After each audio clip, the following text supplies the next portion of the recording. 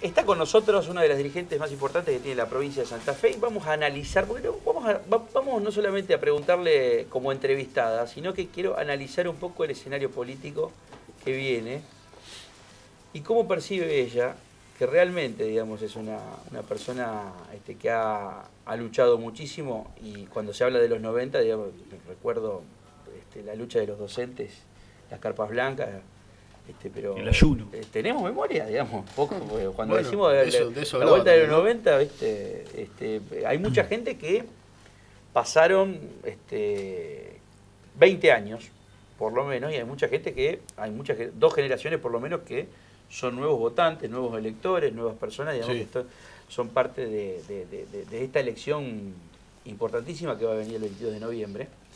Eh, es Sonia Leso, eh, y la verdad que es secretaria general de ANSAFE, y la verdad que realmente digamos, quiero apelar a su cuestión de, de análisis, ¿no? También. Gracias, Sonia, Sonia por estar, ¿eh? No, gracias a ustedes. ¿Qué, qué te pasó por, por la piel o por, por la cabeza cuando este, conociste el, el resultado de, de- de estas elecciones este, de- del, del domingo pasado? ¿Qué, qué, qué sentiste como, como, como ciudadana, como persona y luego como dirigente? Mirá, por un lado, lo, primero que vos dijiste, ¿no? Es pensar en los, pensar en los 90, pensar en cómo nos, nos encuentra los maestros, en pensar en lo que significaron estos, estos años desde la Carpa Blanca, donde estuvimos mil tres días en todo el país, además con carpas provinciales. Ustedes se acuerdan de la carpa acá en Santa Fe, en la Plaza del Soldado. Muchos de ustedes fueron, estuvieron ahí acompañándonos. Eh, pensar en recordar, yo decía el otro día, hablando con varios docentes, diciendo qué cosas vivimos los maestros en los 90 y si nos acordamos todos, digamos, si nos acordamos todos de lo que significó el presentismo, de lo que significó el ajuste, el cierre de los institutos públicos del profesorado en todo el país, algo que aquí en Santa Fe no se pudo llevar adelante por la resistencia de los docentes, pero hay que recordar y bueno, el hecho del lugar que hoy ocupo en Cetera también me permite ver lo que significó para otras provincias. Ah, Hubo provincias completas donde se cerraron todas las escuelas para adultos, donde se privatizó todo o una parte importante del sistema educativo y donde se cerraron también los institutos superiores del profesorado, donde después hubo que empezar prácticamente de cero. Eh, la desinversión en educación, el aumento de la inversión privada. La verdad que lo que pensé en ese momento es, bueno, ¿qué pasó en la cabeza de muchos docentes, de muchos compañeros, de muchos trabajadores?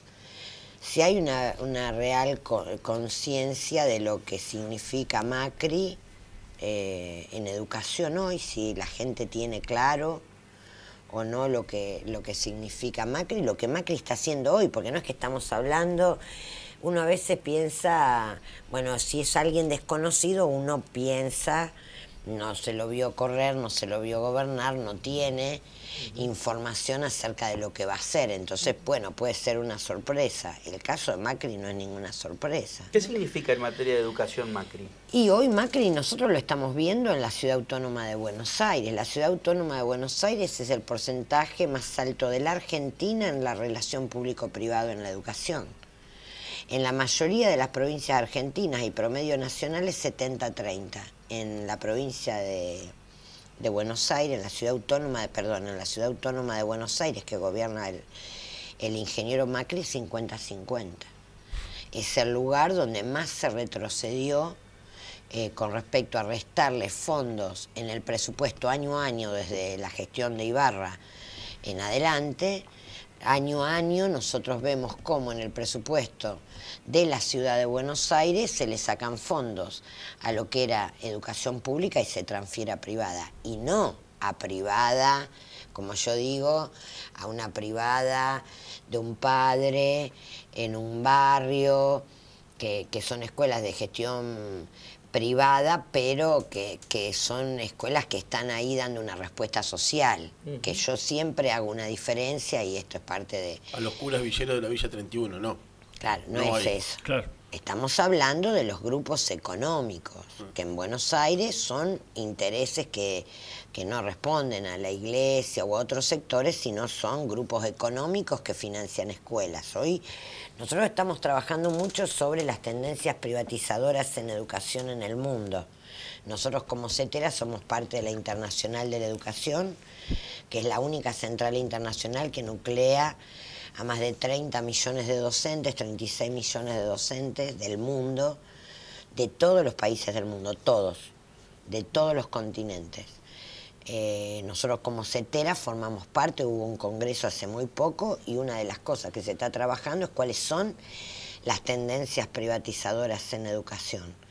Las tendencias privatizadoras en educación no vienen de la forma que nosotros las conocimos en los 90. Esto también hay que decirle a la gente, no es...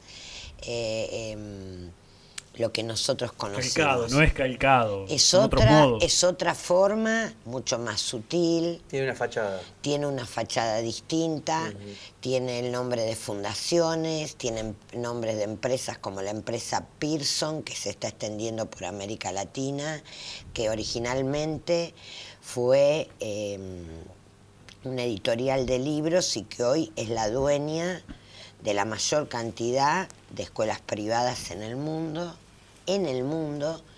¿Una empresa es...? Es una empresa que es parte de la... una empresa multinacional, ¿no? Es una empresa que tiene en Chile muchísimo, en, y, que empieza a ramificarse por América Latina. esa, es una, esa es una gran preocupación. Que, ha tenido... Es en la cabeza de playa este, del una movilización Una movilización en contra de lo que la, la educación arancelada en contra del lucro en educación y que se votó hace muy poco en el Congreso después de años de movilización de los estudiantes y de los docentes, con represión, con movilizaciones inmensas. Pregunto una cuestión eh, de, términos y de lenguaje, que sos este, docente y, y trabajas mucho con eso. Eh, de alguna manera hace, un tiempo atrás es como que había pasado de moda o se planteaba que había pasado de moda las, las ideologías y plantear esto el neoliberalismo y que otra vez con las desigualdades y demás era el discurso de Macri. Macri tenía ese discurso, hace muy poco, pero muy poquito atrás. Eh, en toda la campaña política hizo un discurso eh, que a mí me llamó mucho la atención. Macri hablando de los pobres, Macri hablando de sostener eh, las banderas de lo que se hizo bien del kirchnerismo, y Scioli hablando de rentabilidad de los empresarios, de las empresas, garantizándole sustentabilidad y demás. Eh, como docente te lo pregunto, digo, ¿haces este, este, esta lectura también de esta campaña? A mí me llamó mucho la atención, lo dije acá varias veces, lo dije, digo, Scioli cerrando la bolsa de comercio acá en la ciudad de Santa Fe. Este, Hace un poco de ruido.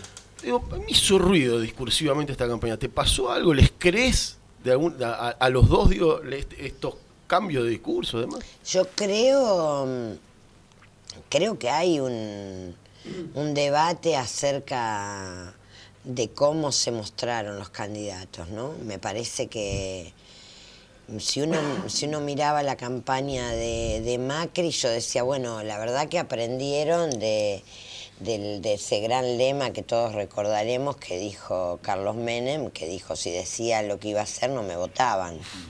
Yo creo que Macri es un gran, un gran heredero del menemismo, del menemismo, muy bien asesorado, yo creo que la campaña ha sido impecable en cuanto a lavar de, contenido lo que, lo que estaba diciendo, apelando a la esperanza, apelando al trabajo, apelando, apelando a cosas generales, pero en ningún momento planteando las las cosas que iba a hacer o tomando definiciones, digamos. Pero hay señales, ¿no? Yo pensaba, hoy me reía porque leía en un diario que Fukuyama, ahora que hablaba del fin de la ideología, la felicitó a Laura Alonso, ¿no? Que es una, es una diputada nacional famosa por su relación con los fondos buitres, eh, pertenece a una fundación, porque una de las, de las formas que nosotros observamos cómo están llegando fondos eh, no solo a Argentina, Argentina, Bolivia, Brasil, a Venezuela,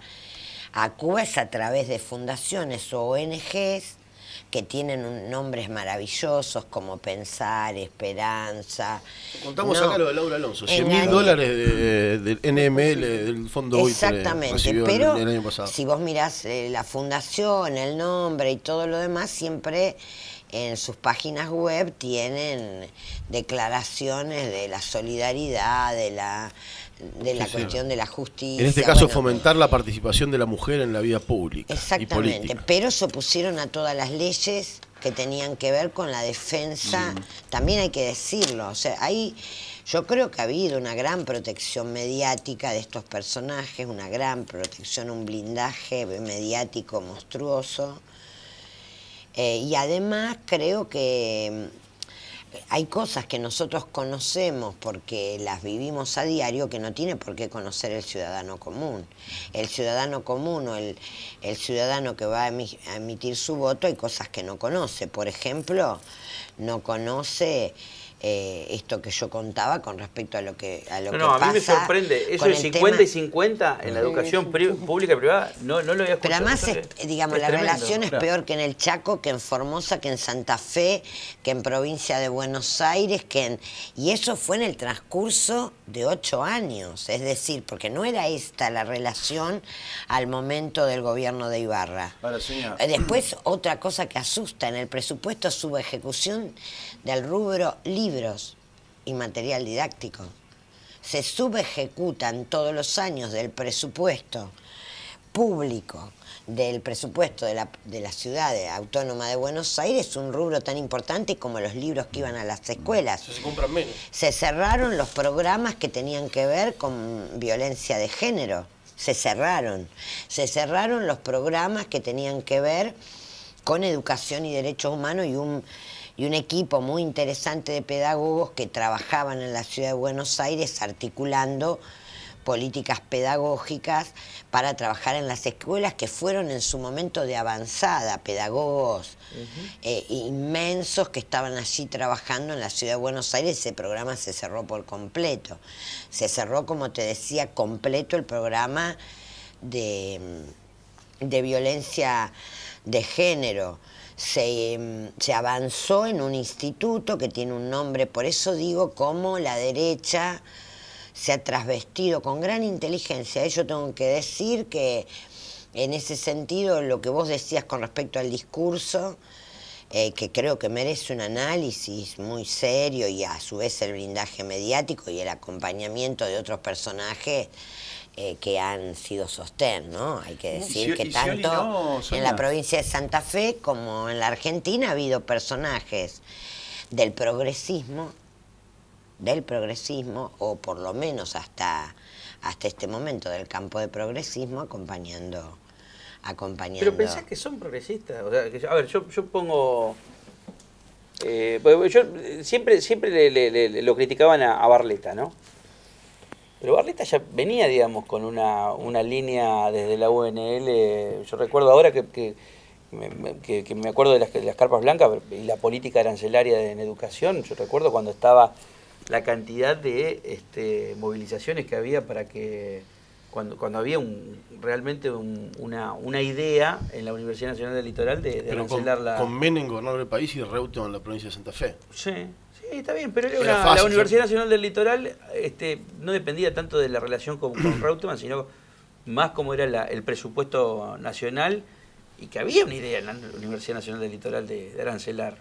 Había, yo Sí, estudiaba Derecho en aquel momento, me acuerdo que era, eran las movilizaciones de los, de los centros de estudiantes, este, Pero hasta, no, docentes. pero hasta el pasado Menem, Rodríguez. Sí. Yo cursé en la Universidad Nacional de Entre Ríos, recuerdo año 2004, 2005, donde también se estaba luchando contra lo- la no, el no cobro de aranceles en las universidades nacionales, o sea, cual. mucho más allá del menemismo. Este, pues, lo nuevo sería Corral, pero es de la misma línea de Barleta. Digo, pues, siempre criticábamos a Barleta, pero hoy el intendente ganó con el 40% de los votos en la ciudad capital de la provincia y que quiere ser gobernador dentro de cuatro años de esta provincia, es más probable que vaya en, cuatro años con la UCR Pro, si es que pierde eh, Macri, y si no con la, eh, el Pro UCR, si no es que es directamente candidato del Pro. Esto lo hemos hablado el lunes. Digo, a mí, a mí me sorprende con- mucho lo de bueno, Corroy. pero convengamos que hay una, un renunciamiento a lo que son los postulados históricos del radicalismo. Digo, más allá de nombres, porque más allá de, hacer nombres propios, está claro que el radicalismo hoy eh, está dividido, no es la primera vez, como otros partidos políticos, en el sentido de que hay una división con respecto a lo que han sido las banderas históricas del radicalismo, lo que ha sido la federación universitaria, lo que ha sido la reforma universitaria, lo que han sido personajes como Raúl Alfonsín y otros en todo el país, de una vertiente más de centro izquierda, si se quiere, después o, o socialdemócrata, no sé, bueno, cada uno le, le- le pone, yo las etiquetas por ahí son, son, no ayudan, pero digo, lo que han sido las, las banderas históricas del radicalismo, ¿no? Eh, duele pensar que el, el partido de Raúl Alfonsín o de Hipólito Yrigoyen esté defendiendo la privatización de la educación. Es difícil de entenderlo porque, a ver, eh, si hay una bandera de, de lo que ha sido la, las banderas históricas del radicalismo, el tema de la defensa de, de la escuela pública. Vamos ¿no? a aprovecharte esto que estás diciendo justamente sobre Alfonsín y vamos a recordarlo con, con, con Berlanga que preparó un- una parte de lo que opinaba Alfonsín. Sí, está ¿Sobre? buenísimo. Alfonsín sobre Macri. ¿Sobre cuál era el límite? Porque Alfonsín siempre fue un tipo de alianza, de tratar Sí, de sí. abrir el juego y demás, pero planteaba un límite. Mira, era este, mira.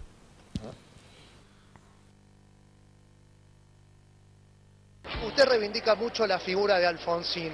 ¿Qué opina que pensaría Alfonsín de este acuerdo con Mauricio Macri? Estaría pero en primera fila, hubiera estado en Gualeguaychú apoyando en primera fila eh, la posición nuestra, pero ¿sabes qué? ¿Qué sucede si yo le dijera que Alfonsín en su momento dijo que aliarse con Mauricio Macri sería traicionar los principios del radicalismo? Nunca dijo eso Alfonsín, nunca dijo eso, ¿Nunca dijo eso? jamás dijo eso. Yo creo que nosotros para esa concertación que queremos hacer tenemos límites, el oficialismo por un lado Sí. y otro es la derecha por otro lado. ¿Qué derecha? La derecha. La derecha es Macri, por ejemplo. Ah. No podemos traicionar nuestros principios. Mira, esa nunca la escuché, nunca la leí. Si lo hubiera escuchado, ¿no, se hubiera aliado con Mauricio Macri? No, no, sí lo hubiera hecho porque estoy convencido que Alfonsín, si estuviera vivo, lo hubiera hecho. Yo creo que nosotros para esa concertación que queremos hacer tenemos límites. Macri, por ejemplo, no podemos traicionar nuestros principios. Yo no sé qué diría, lo único que sé es lo que dijo. Mira, Alfonsín hoy... Dijo que Alfonsín aliarse hoy- con Mauricio Macri sería traicionar los principios radicalismo. Alfonsín hoy no te quepa la menor duda, estaría liderando este proceso. Bueno, ahí estaba. eh, Linda perlita esta. ¿eh? Es interesante, ¿no? Digo, Alfonsín. Hoy una, una, una fecha alfonsinista. Sí, después, después digo, se pueden, se pueden plantear y hacer análisis sobre el gobierno de Alfonsín, digo, pero me parece que este límite que plantea Alfonsín, además lo vivieron en su gobierno también, digo, cuando lo chiflaron en la rural, cuando lo chiflaron en la rural, digamos, eh, me parece que fue es- era claro hacia dónde se paraba Alfonsín, eh, y por eso, digo, a un montón de, de nosotros nos resulta más simpático y más cercano este el alfonsinismo, digo, sobre todo aquello que, hemos defendido, defendemos el, el- el modelo central del, del kirchnerismo y demás. La figura de Alfonsín es un tipo que lo sentí cerca, porque sí, es un tipo que peleaba por la misma cosa, y al que además lo tumbaron los mismos. Porque también tiene que ver con eso, ¿no? Quiénes fueron los opositores del gobierno de Alfonsín. Te pones a hacer un revisionismo y es lo mismo. Entonces, me gusta lo que decía Sonia de cómo, cómo cambió la metamorfosis de los discursos, de la forma, pero en definitiva es lo mismo. ¿no? Ahora, tanto es el odio que puede llegar a tener hoy un radical como para decir. eh, lo he escuchado a algunos este, radicales decir. El odio contra el kirchnerismo, ¿no? Me tapo la nariz, pero lo voy a votar a Macri. O sea, porque eso también es un. Tiene un contradestinatario. ¿Te referís a los ciudadanos o te referís a los un dirigente dirigentes radical que políticos? quiere. Que, eh, porque muchas veces se ha, se ha remarcado justamente el trabajo territorial que tiene el radicalismo, ¿no? Yo creo que en el caso de los ciudadanos es un análisis, en el caso de los dirigentes es otro. Yo creo que en el caso de los dirigentes lo que acá hubo es una relación de conveniencia. Creo que si uno mira el mapa del país, lo que el radicalismo le aportó al macrismo es anclaje territorial. Y eso el radicalismo tiene y tuvo, tiene y yo creo que tendrá. Lo- eh, digamos, le, le, le si- le significó algo que también aquí en la provincia nosotros lo hemos visto con el Frente Progresista, es anclaje territorial. Dirigentes que son intendentes o que son gobernadores o que son candidatos a gobernadores con, con posibilidades de gobernar. Bueno, el caso de Jujuy, en este el triunfo del radicalismo en Jujuy o el triunfo del radicalismo en Mendoza que se asientan sobre, primero, un gran anclaje territorial, porque el radicalismo siempre lo tuvo en esas provincias, no es que es un, algo inesperado, el, el radicalismo, es, es más, hay que recordar que, por ejemplo, fue gobierno en esas provincias, no es que nunca fue, fue gobierno, se fue porque gobernó mal, el caso de Río Negro, fue gobierno durante 20 años el radicalismo, no es que no, no gobernó, gobernó. Gobernó durante yo mucho. Cuando dicen ¿sabes por qué te digo eh, de- tantos años, bueno, hay que hacer la lista, mirar las provincias y ver cuántos años gobernó el radicalismo, muchas de las Yo provincias te, te argentinas. hablo de los dirigentes y el trabajo territorial, porque me que pongo a creo pensar, que, que me fue pongo una en- alianza, eh, una alianza de intereses. Claro, pero me pongo a pensar en Eh, Changi Cáceres para la liberación de Latinoamérica. ¿Cómo era Alerta, alerta que Alerta camina. que camina, el Digo, chancacerismo por América Latina cantaba. Principios de los muchacho. 80, ¿no? La- una de las primeras, de las primeras figuras de este que tuvo la provincia de Santa Fe, este, del 83 al casi el, 80 casi el 91. Usandizaga le siguió en el 91 cuando fue candidato contra el Reutemann. Digo, son figuras, hoy yo no sé si decir que son figuras progresistas. A lo, a lo lejos, digo, a 20 años porque pasaron. Digo, que no- yo, lo- los veo que no, no son tan progresistas. Los partidos de masas, todos los partidos que son partidos de masas y el radicalismo, el peronismo lo son, tienen en su interior, sin ninguna duda, tienen en su interior distintos sectores que representan distintos intereses. Digamos, en ese sentido, eh, en América Latina eso se ve muy claro. O sea, se- América Latina tiene una característica distinta a lo que podrían ser las democracias europeas. Eh, y y lo, que, lo que se ve en América Latina es un, un componente más de movimiento y tanto el radicalismo como, como el peronismo, que son partidos de masas, tienen en su interior las dos cosas. Eh, uno, es más, los mismos dirigentes en, distintos, en distintas etapas han representado distintas cosas y creo, creo que es así, lo sabemos todos. Scioli es el ejemplo, Y todos tenemos Scioli, y todos tenemos amigos en el radicalismo que o compañeros que han estado con nosotros en la calle eh, peleando contra el ajuste en los 90 y que hoy tienen otra posición y lo mismo en el peronismo. Yo creo que hay que decirlo claramente porque si no eh, no es que de un lado hay buenos y del otro hay malos, sino que creo que en el Ese es el interior problema que hubo. en el- yo no creo, viste, en Sí, la política de buenos y malos.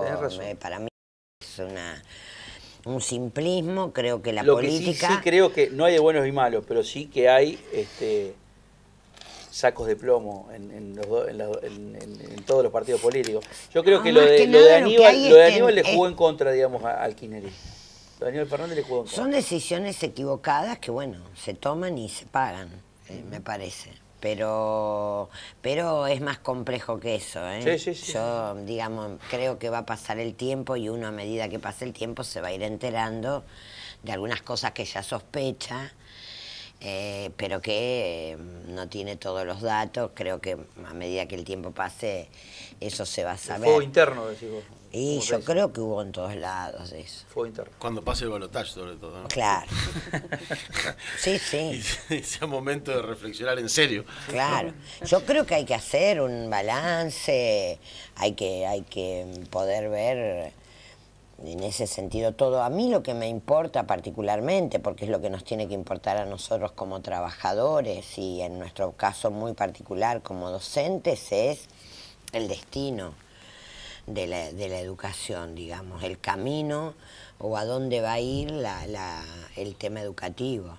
Y en el caso de los trabajadores, a dónde van a ir los derechos, las paritarias, la pelea salarial, la pelea por conquista de derechos. Y después un tema muy, muy particular, que no, no es solo patrimonio, en nuestro caso, de ANSAFE, sino yo creo que de toda la sociedad, que es el tema de los juicios de derechos humanos hay eh, muy claramente dentro de, los sectores que Macri representa, si llegara a ser presidente, muy fuertemente un, una corriente muy clara que viene planteando que se tienen que terminar los juicios eh, que, que juzguen a la dictadura militar. Perdón, ¿vos, vos pensás que puede haber un segundo punto final o, o una segunda obediencia de vida? Yo creo que va a pasar algo con ese tema, no sé cuál va a ser el instrumento elegido. Macri tiene represores en sus filas. Pero, Pero es, es un, es un movimiento, Sí, un movimiento, recordemos que la justicia, muy... la justicia volvió a juzgar y a tomar a partir de que eh, el presidente Néstor Kirchner le apretó la rienda a la corte y dijo, lo voy a echar a todos y voy a cambiar la corte.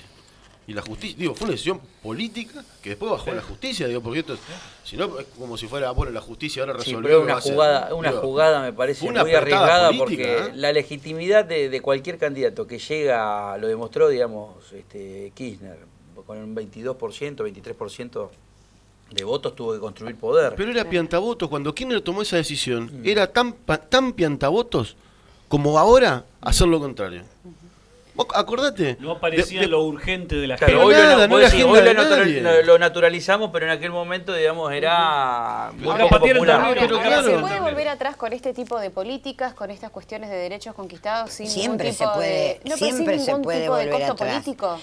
Porque Y volver atrás sí se puede, pero ¿a, ver, costa de qué? La historia, la historia enseña, yo digo, uno tiene que leer lo que ha pasado en la historia. La historia enseña, la gente cree que la, la historia es un escalón ascendente para arriba.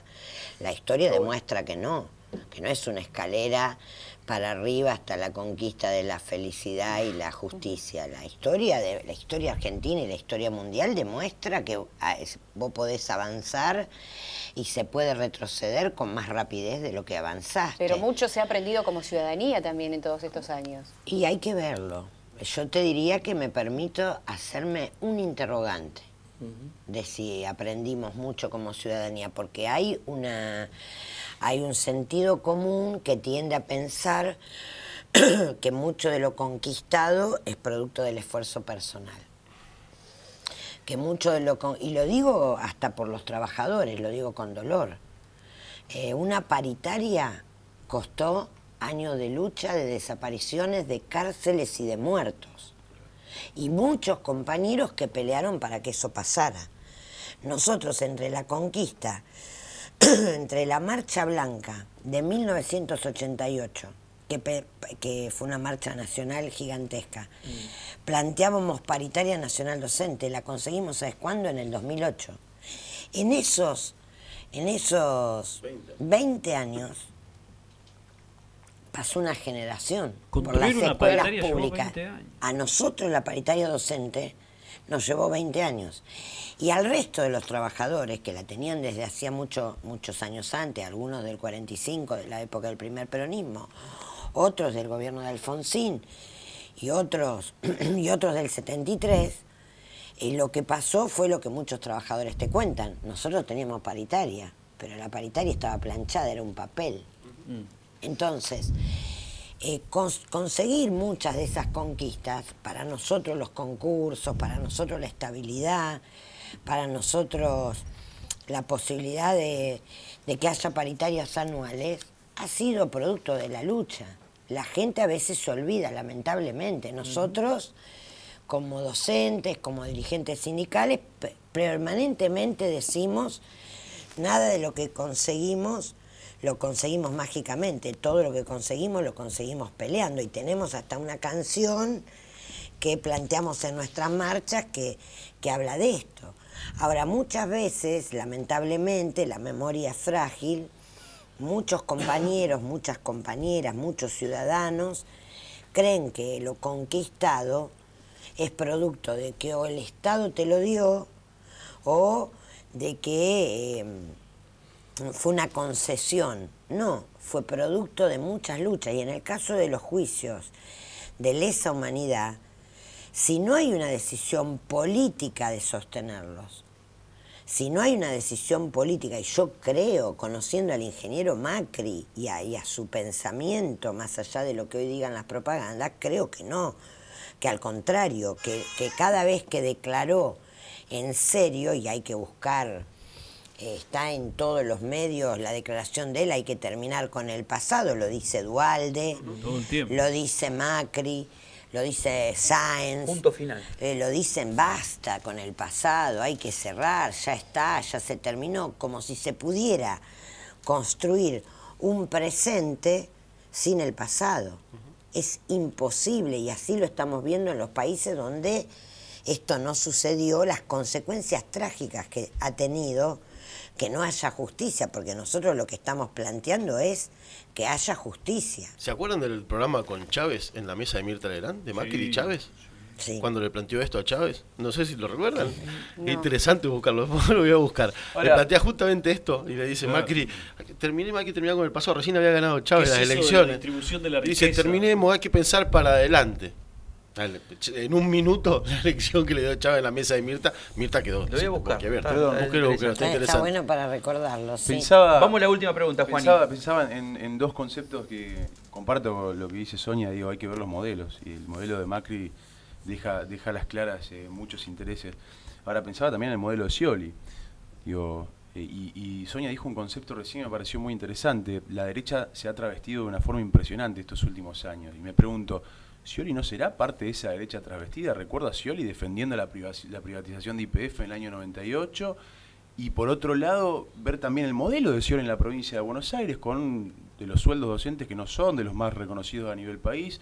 El año pasado con 17 días de paro en el inicio de la jornada y con gremios en la provincia de Buenos Aires que son muy críticos con el modelo de educación pública que tiene la provincia de Buenos Aires. Digo, ¿cómo, ¿Cómo se enfrentan a esos dos perfiles también? Digo, no debe ser un- para nada fácil aceptar uno antes que otro. No, no, y nosotros hemos sido de los que hemos peleado con Scioli en la provincia de Buenos Aires por nuestro gremio de base de CETERA en la provincia de Buenos Aires, es el SUTEBA y es el Claro. que llevó adelante este paro que no fue este año, sino fue el año Inicio del pa- 2014. Exactamente, el año pasado. Ahora, eh, lo que te digo es que se puede pelear y hay paritaria. Yo, yo eh, digo, veo matices. A- eh, hay cuestiones que yo no estoy de acuerdo con lo que hace el gobierno de la provincia de Santa Fe. Ahora, tengo paritaria todos los años. Peleo, puedo pelear. Eh, con Scioli sé que hay cosas que voy a pelear, pero sé que hay otras que voy a que voy a- voy a discutir o voy a voy a tener una instancia de discusión. ¿En tu interior militante vas a elegir entre el menos peor el 22 de noviembre? Yo no, no, no, no creo, yo elijo, eh, voto en contra de la derecha en cualquiera de sus formas en todos los lugares. Y para mí la derecha en este momento es Macri, claramente. Porque lo que a mí me parece que hay que discutir no es eh, qué voto yo individualmente o eso es secundario. Lo que yo creo que hay que discutir es, en nuestro caso particular, el tema educativo, y- y con nosotros como trabajadores el destino de Argentina. Si vamos a ir a pagarle a los fondos buitre corriendo, si vamos a ir al consenso de Washington nuevamente, si vamos a ir a una devaluación, nosotros como trabajadores a los compañeros le tenemos que decir, la verdad, si gana Macri, el año que viene, en la paritaria, nosotros vamos a estar enfrente de una devaluación de entre el 60 y el 100%. No es que lo, lo digo yo, lo dijeron Sí, es los inflación economistas. más- más devaluación. Lo dijeron los economistas de Macri. Si gana Bueno, pero decir, eh, ha sucedido, digamos, en el si gana yo ahora. creo que va a ser otro, este, otro contexto. Ha, ha sucedido, otro contexto. ah, no van a ¿cuándo tener fue? En enero del para 2000, hacer eso. 2015. 2000, eh, enero de 2014. El 2014. Que, que, La que mega se- devaluación. que hubo una devaluación y también se sumó a la, a la inflación. Ahora, lo que te lo dicen, Este digamos. enero, enero 2015. 2015, este, lo que te dicen justamente los economistas de, de- de Macri es que eh, es un 60%, por lo menos 50-60% de, de, de devaluación, más la inflación. O sea, vos- vos imagi- que es la, la persona más lúcida, digamos, eh, mucho más que Melconian, porque además eh, Expert es una persona que tiene relación directa con los grupos económicos, es, no va a ser ministro de Macri, va a ser el ideólogo de las políticas de Macri, es No es Caballo, no es el que pone la cara. Como fue con Caballo, fue el asesor externo de Caballo. Exactamente. O sea, Esper de los que de- son esas figuras que no, no, uno no las ve, no son los que te dan las conferencias de prensa, pero son las que están siempre atrás de bambalinas diciendo qué va a hacer. Esper dijo claramente, ir a arreglar con los fondos buitre, ¿qué quiere decir esto en concreto? Pagarles. Para nosotros, pagarle. Lo felicitó a ¿Qué Macri por Twitter decir? cuando, cuando Macri dijo que había que sentarse con Grisa y hacerle caso a lo que decía, lo felicitó por Twitter y dijo felicitaciones a Mauricio Macri. El resto de la postura de todos los políticos son medias tintas K. Claro, porque ¿qué quiere decir claramente en concreto para un ciudadano? Porque la gente no sabe qué quiere decir. Sí, es un que le monje vayamos- negro bastante atípico por lo bocón que es, o sea, y el grado de... No, es que es un tipo, a ver, es un, esas personas no tienen problema porque no es que son monjes negros, son lobistas de los grupos. Entonces, ellos no tienen problemas en hablar, dan conferencias permanentemente en el mundo, porque lo que ellos, yo lo que le decía el otro día, ¿cuál es la diferencia entre Macri y Scioli? Para mí, y esto eh, brutalmente dicho, Macri expresa al país atendido por sus dueños. Eso expresa. Eso expresa. Eh, porque, ¿qué quiere decir que un tipo como expert esté asesorando a Macri? Quiere decir que los dueños de la Argentina, los dueños de los capitales multinacionales que son dueños de la Argentina, eso, a esos les vamos a ir a pagar y eso vamos a tener nuevamente un endeudamiento que al pueblo argentino le va a costar 20 años de sufrimiento. No a Cristina Kirchner, no a Daniel Scioli, no a, Mauricio Macri. a Mauricio Macri. O sea, lo que lo vamos a, a pagar somos los trabajadores y el pueblo. Este es el verdadero problema. Esto es lo que me parece que hay que decirle con claridad a la gente. Eso es lo que nos espera. Yo lo digo con dolor, pero no tengo dudas, porque además no es que no gobernó. Mauricio Macri gobernó porque fue parte de, de esa derecha que apoyó todas las políticas de Carlos Menem y está dicho por él públicamente, no es que lo escondió, no es que estaba en Europa, no es que estaba en Estados Unidos, estaba en la Argentina, su familia entró a la dictadura militar de Videla con poquísimas empresas, salió con 43 y después de la privatización de Menem es uno de los patrimonios más, más importantes de la Argentina. No es una cuestión de un empresario exitoso. Es otra cosa y esto también la gente lo tiene que saber. No es un empresario que se esforzó, es un empresario o un grupo empresario que hizo negocios a costa de todos los argentinos. Sonia, eh, muchas gracias eh, por No, de nosotros, nada. eh. Muchísimos mensajes que, que- que- que- que- que dejan, bueno, nos quedan, digamos, la, la- la relación ahora con, con el gobierno que viene de Lichi, este, pero te vamos a invitar la, la próxima y vamos a analizar, total, queda tiempo para el 11 de diciembre. Queda mucho. Queda mucho.